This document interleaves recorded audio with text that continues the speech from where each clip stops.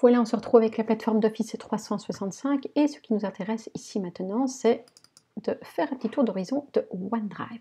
Alors OneDrive, qu'est-ce que c'est? C'est un espace de stockage, enfin un espace de stockage, c'est votre espace de stockage dans lequel vous allez pouvoir ranger, organiser, stocker tous vos documents euh, pédagogiques euh, ou professionnels. Euh, l'idée, c'est quoi? C'est que vous allez pouvoir, comme dans une armoire, une armoire de classe fermée à clé, ici c'est une armoire virtuelle également fermée à clé, vous avez un espace dans lequel vous allez pouvoir ranger tous vos euh, documents, tous vos outils de travail. Ces outils de travail, ça peut être des dossiers, des classeurs pédagogiques, plein d'autres choses. Alors le principe est simple, c'est que vous allez pouvoir créer des nouveaux dossiers. Je clique sur dossier ici dans nouveau dossier. Admettons, ça peut être un dossier qui va s'appeler ici maths. Voilà, j'ai un nouveau dossier qui vient d'être créé. Ce dossier, pour l'instant, il est vide, il y a zéro élément dedans.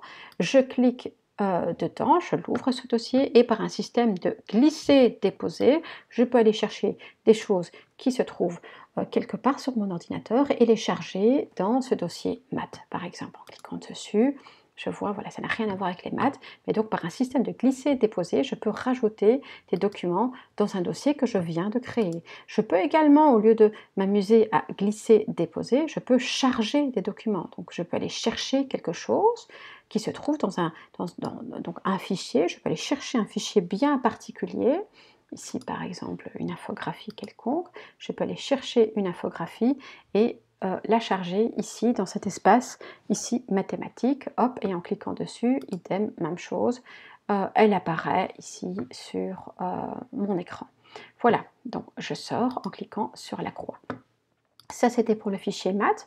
Alors, je vois que ce sont des fichiers, des dossiers qui sont privés, c'est-à-dire qu'ils n'ont pas été partagés. Par contre, on voit que cette vidéo aussi, elle a été partagée avec quelqu'un. Donc, il y a une différence ici de présentation. Ça a été partagé avec quelqu'un. Pourquoi? Eh bien, simplement en cliquant sur les trois petits euh, points qui sont là, j'ai euh, partagé cette vidéo avec quelqu'un. J'ai introduit le nom de quelqu'un. Je pense avoir mis, voilà, mon nom à moi. Donc, en invitant euh, une personne quelconque de mon, organisation, je peux envoyer une notification et cette personne-là reçoit le lien de partage. Euh, donc je peux partager des choses, hein, ouvrir l'accès à certains documents, euh, à certains fichiers euh, si je le souhaite. Donc ici c'est une vidéo en particulier, mais je peux très bien rendre ce dossier projet. Dedans il y a zéro élément. Prenons quelque chose avec un petit peu plus de choses ici. On va peut-être même créer quelque chose de nouveau. Donc dans le dossier français, je vais charger des choses, on va chercher des fichiers un petit peu plus volumineux. on va prendre,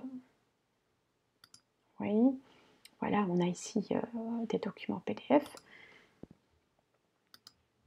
Voilà, j'ai un document PDF qui va venir se charger. Je peux encore rajouter encore autre chose si je le souhaite.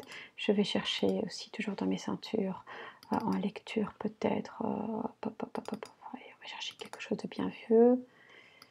Voilà, du vocabulaire. Hop, ça c'est un document Word, voilà, donc mon document Word, mon document PDF, euh, mes deux documents sont venus se rajouter dans mon dossier français. Et si j'accorde le partage à une personne quelconque, trois petits points, partager, soit euh, je peux copier le lien, donc aussi copier le lien et j'envoie le lien à quelqu'un, première manière de partager, mais je peux aussi euh, hop, copier le lien, non pas copier le lien, pardon, ce n'était pas ça, mais partager le lien avec une personne quelconque, taper les premières lettres d'une personne et envoyer le lien à euh, une personne. Et alors, ici, ce dossier-ci, vous allez voir apparaître ici dans un instant, pas tout de suite, mais qu'au lieu d'être privé, eh bien, je vais avoir une signification, une petite indication comme quoi il a été partagé avec d'autres personnes.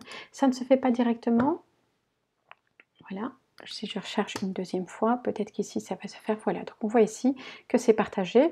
Et alors si vous êtes euh, assez observateur, vous allez voir ici que même la présentation du logo, je vais même faire un agrandissement ici dessus. Voilà, on voit bien ici que ce dossier-ci est partagé, on voit même qu'il y a un petit bonhomme dessus, c'est un dossier qui est partagé. Ça veut dire que dans ce dossier français, à chaque fois que je rajouterai des documents supplémentaires, la personne en question avec qui j'ai partagé le dossier aura une vue sur tous les fichiers supplémentaires qui seront rajoutés. Voilà euh, pour le mode de partage.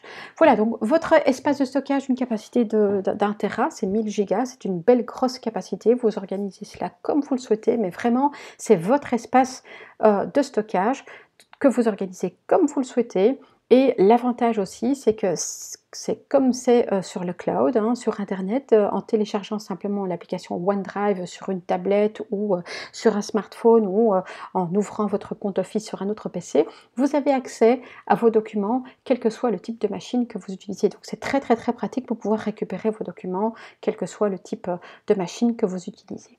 Voilà pour OneDrive.